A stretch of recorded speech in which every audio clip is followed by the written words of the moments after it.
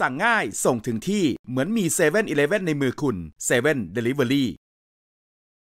ในช่วงที่บาทไทยค่อนข้างที่จะแข็งนะคะ เราพูดถึงเรื่องนี้เนี่ยว่าบาทแข็งมาตั้งแต่ปลายปีที่ผ่านมาไล่มาจนตอนนี้เนี่ย32 บาทปลายๆเนี่ยนะคะก็เป็นข้อดีนะคะสำหรับผู้ที่นำเข้าค่ะเพราะว่าสามารถนำเข้าสินค้าได้ในราคาที่ถูกลง แต่ทั้งนี้นะคะทางด้านของธนาคารเพื่อการส่งออกและนำเข้าแห่งประเทศไทยหรือ Exim Bank ก็แนะนะสำหรับผู้ประกอบการส่งออกด้วยนะคะสำหรับท่านที่ต้องนำสินค้ามานำเข้าเป็นผลิตการเป็นวัตถุดิบในการผลิตต่างๆเนี่ยตอนนี้ก็ถือว่าเป็นช่วงเวลาที่ดีนะคะเพราะบาทไทยแข็งก็สามารถนำเข้ามาได้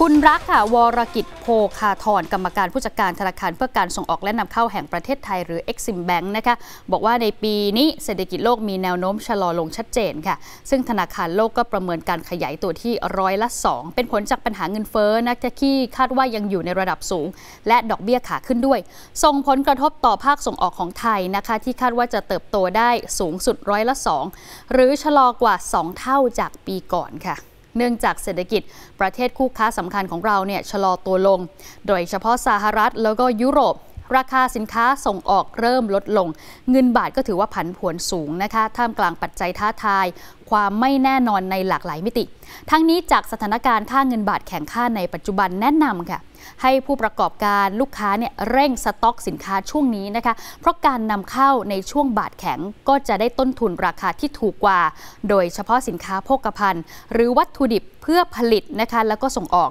ซึ่งไตรมาสแรกของปี 2566 ก็จะเห็นค่าเงินไม่ได้แกว่งมากนักนะคะ เฉลี่ยสักประมาณ 32 บาท 80 สตางค์ ถึง 33 บาทต่อดอลลาร์สหรัฐ หากทำธุรกิจ และยังสามารถมีส่วนต่างกำไรได้ค่ะ นอกจากนี้เนี่ยธนาคารก็แนะนำการป้องกันความเสี่ยงจากอัตราแลกเปลี่ยน ในช่วงที่ตลาดเงินผันผวนรุนแรงในตอนนี้ด้วยสำหรับผลการดำเนินงานในปีที่แล้วนะคะของ Exim Bank มีกำไร 2,737 ล้านบาท เพิ่มขึ้นจากปีก่อนร้อยละ 14.51 มีกำไรสุทธิ